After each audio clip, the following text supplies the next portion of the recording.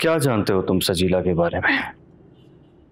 या उसकी बेटी के बारे में, या उसके खानदान वालों के बारे में? कभी मेरा दुख समझने की कोशिश की है? कभी सोचा है? ऐसा कौन सा तूफ़ान है मेरे दिल में जो थमने का नाम नहीं लेता? मेरा दिल क्यों बदले की आग में जल रहा है? कभी सोचा है? तो आपने अपना मफाद पूरा करने के लिए मुझसे मेरे जीने का हक ही छीन लिया। तुम्हारी ऊँची आवाज़ मेरे इरादों को बदल नहीं सकती। क्योंकि अभी तुम बहुत छोटे हो मेरे सामने आवाज़ ऊँची करने के लिए।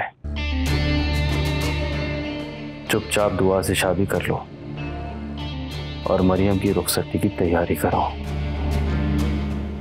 मुझे मौत कबूल है लेकिन मरियम की रुखसती ये मैं हर केस नहीं होने दूँगा?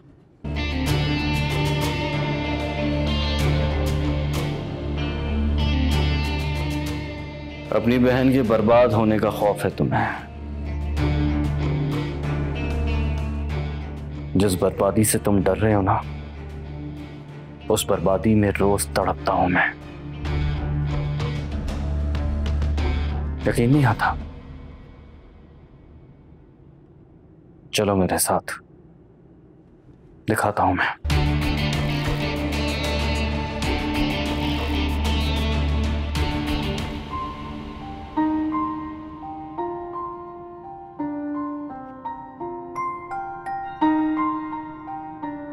ये है ना?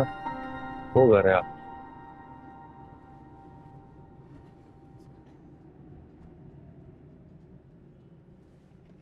ये घर है। तुम रुको मैं आता है पहले कंफर्म कर लूँ।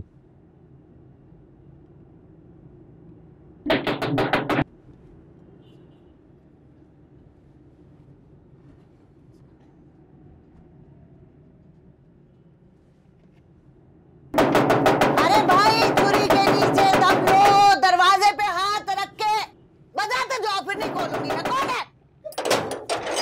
कौन हो तुम? तमीज नहीं है दरवाज़ा बजा बजा के पीटोगे क्या? है तोड़ोगे? तमीज नहीं है ऐसे बजाते हैं दरवाज़ा। अस्सलाम वालेकुम। क्या काम है? कौन है तुम? आप मानूर की सास है ना?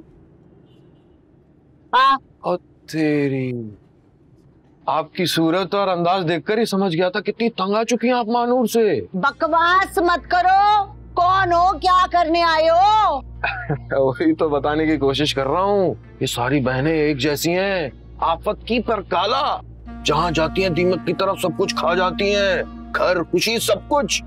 इसीलिए आप आदत डाल लीजिए समझन अरे किस बात की आदत डाल ले? जो बात है वो करो। हो कौन? क्या करने आए हो? बताओ तो सही। मैं मानूर का बहनोई हूँ। इधर आओ। इधर आओ नहीं इधर आओ।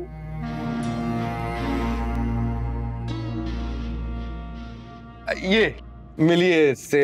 ये कौन है? अस्सलाम वालेकुम। ये मेरी बीवी है महानूर की बड़ी बहन। वो जो वो जो उस दिन आई थी ना बड़ी गाड़ी में वो छोटी बहन थी ये मेरे साथ बाइक पर आई है बड़ी बहन है। या अल्लाह ये क्या तमाशा मचा रखा है जिसका दिल चाहता है मुँह उठा के चले आते हैं। पहले वो एक आ गई थी फिर ये आ गए अभी आ आओ। आ, चलो चलो चलो चलो चलो। बैठो। नहीं वो मानूर कहाँ है? वो सामने सीढ़ियाँ सीधी ऊपर चली जाओ पड़ी सो रही होगी। सारा दिन कोई काम धंधा नहीं करती सोती रहती है। जाओ जाके मिल लो। चलो चलो। सबका यही काम है सारा दिन पड़ी सोती रहती है नहुसत ये आपके लिए लाऊं बड़ी महँगी जगह से।